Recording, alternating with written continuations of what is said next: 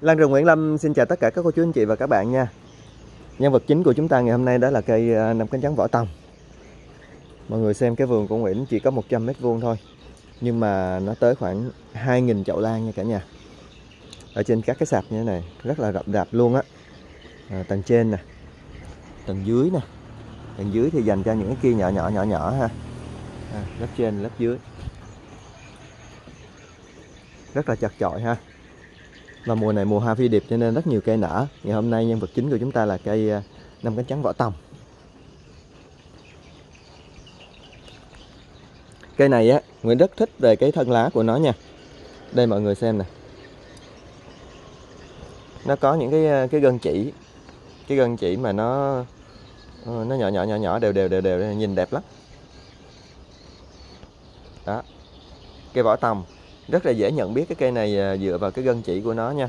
Nhưng mà không phải chỉ có mỗi cây vỏ tầm nó mới có cái gân chỉ như thế này nha cả nhà. À, cái gân chỉ này cây kiều phi yến á, nó cũng có cái gân chỉ giống kiểu như thế này. Đây là thân lá cây vỏ tầm nha mọi người. Còn cái hoa của nó thì đây ạ. Hoa cây vỏ tầm thì thường Nguyễn thấy là à, nó phải nở đến ngày thứ tư ngày thứ năm á thì nó mới đẹp được. Kiểu như là nó mới à, cái khuôn của nó mới dựng ra được cái kiểu như thế này còn những cái ngày cái ngày đầu tiên nó nở thì thường không được đẹp cái lưỡi của nó cũng không mở ra. Cái chậu này của Nguyễn thì ờ, nó không phải là một cái chậu lớn. À, nó chỉ ra được một cái hoa thôi. Đây là khi năm nhất nè. Đang lên trời trời năm hai nè trời năm hai rất lực nè. Thì cái hoa cái vỏ tầm á, nó có những cái cái ưu điểm như sau. Về cái màu sắc của cái lưỡi á, thì Nguyễn thấy nó lên rất đậm nha. Màu bệt của nó lên rất là đậm mọi người xem qua. Nè màu sắc lên rất là đậm. Đặc biệt nếu mà nó nó ở dưới nắng là nó rực lên như thế này nè. Mọi người nhìn xem. Nó là một dòng năm cánh trắng lưỡi bệt và mũi trắng này. Năm cánh của nó ở Bình Phước này, nó không có bị ám. Trắng tinh luôn nè. Lưỡi bệt nè. Riêng cái mũi của nó thì nó không trắng lắm nha. Cái mũi của nó thì nó trắng trắng hồng hồng như thế này. Và một cái đặc điểm nữa là nó không bệt hết lưỡi. Ở phần đầu lưỡi của nó thì ờ, còn hơi trắng trắng như thế này. Thì mục đích của Nguyễn là quay hôm nay cho mọi người xem về cái hoa cây năm cánh trắng vỏ tầm để chúng ta có cái nhận định rõ hơn cụ thể hơn về cái hoa năm cánh trắng vỏ tầm à, các cái dòng mà năm cánh trắng lưỡi bệt và mũi trắng thì có rất nhiều ha. Như cây vỏ tầm nè cây tích lịch hỏa nè cây năm cánh trắng huyền thoại nè cây trà gừng cây lâm sung cây đa nhiêm. Rồi ờ, đắt tiền nhất thì nó là cây ờ, cây kỳ hoa vân vân cây quảng thuận và còn nhiều nữa Nguyễn cũng không nhớ rõ lắm. À, nó thuộc về cái nhánh là cánh trắng cánh sáng lưỡi bệt và mũi trắng như thế này.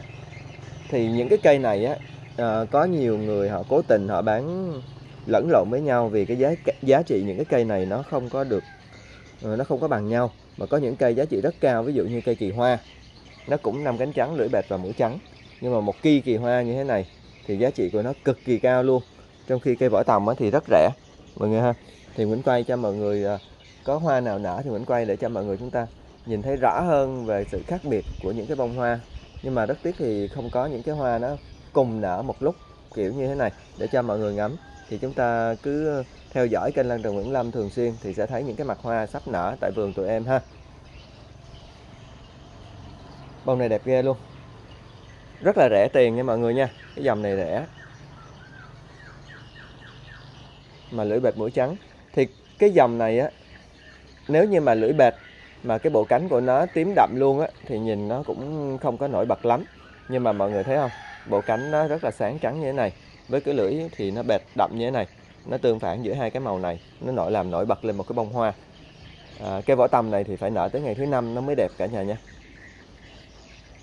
chiếc mũi trắng ở giữa làm tâm điểm cho một cái bông hoa bệt như thế này. Đó mời mọi người ngắm qua cây vỏ tầm dưới nắng nha. Đây nè.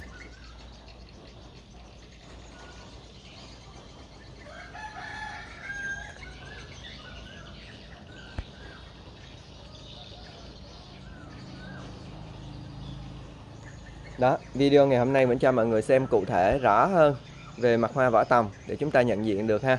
Cái đầu lưỡi của nó như thế này nha cả, cả nhà nha cây năm cánh trắng tình anh em cũng như vậy luôn. Cái phần đầu lưỡi này nó cũng không được bệt hết ha. Nó còn một chút xíu như đây. Cây năm cánh trắng tình anh em là một cây cũng năm cánh trắng, lưỡi bệt và mũi trắng luôn. Ở phía kia đang nở nè, cho mọi người xem qua nha. Nhưng mà cây tình anh em này nó nở cả chục ngày rồi, cho nên hoa nó không còn đẹp nữa. Cây của Nguyễn thì vẫn đang còn nụ, mọi người thấy không? Rất là rậm rạp luôn nha. Đây cây tình anh em nè. Cây này thì nó sắp tàn rồi nha mọi người nha. Thì cũng năm cánh trắng nè. Lưỡi bệt này. Và mũi trắng này, à, cái mũi này bị hư luôn rồi. Thì lấy cái bông này bông này đi. Đây mũi trắng này, thì về cái độ bệt nó cũng không bệt hết. Cây tình anh em cái bông đang xem đây là bông tình anh em nha mọi người nha. Cái màu cái màu trắng nó còn ở phía đầu lưỡi đây. Và cái à, màu bệt của nó nó cũng không đậm bằng cái cây cây năm cánh trắng vỏ tòng. Nó không bệt bằng không đậm bằng cây vỏ tòng ha. Đây mọi người xem qua nha. Đây cây tình anh em. Cái độ bệt của nó không đậm. Không đậm sâu bằng cái cây vỏ tầm đây cây vỏ tầm đây. À, cũng là dòng năm cánh trắng lưỡi bệt và mũi trắng nhưng mà nó mỗi cây nó khác nhau một kiểu nha cả nhà nha. Cây tình anh em thì giá trị cây nó cũng rẻ cũng ngang ngang với cây vỏ tầm vậy thôi. Nhưng mà cây kỳ hoa á, thì rất là đắt. Kênh Lan Rừng Nguyễn Lâm tụi em thì hiện tại đang có cây kỳ hoa chuẩn bị nở nha cả nhà nha. Đây màu này là màu của cây vỏ tầm mọi người ạ. Thấy nó đậm hơn không? Rồi video ngày hôm nay thì Nguyễn quay rõ mặt hoa vỏ tầm cho chúng ta nhận diện. Um, Nguyễn sẽ hẹn gặp lại các cô chú anh chị và các bạn trong những cái video hoa nở tiếp theo nha. Bye bye cả nhà.